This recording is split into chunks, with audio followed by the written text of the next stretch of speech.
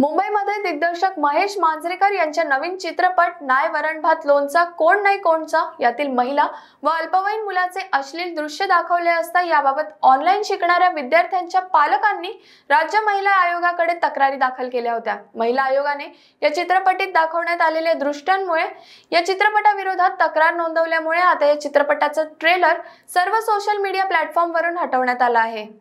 महेश मांजरेकर यांनी प्रकाशित केलेल्या ट्रेलरच्या बाबत समाजातल्या विविध स्तरातून संतप्त प्रतिक्रिया येत आहेत. यामध्ये एक महिला व अल्पवयीन मुलाचे जे दृश्य आहे त्याबाबत ऑनलाईन शिक्षण घेणाऱ्या मुलांच्या पालकांनी राज्य महिला आयोगाकडे तक्रार दाखल केलेली आहे.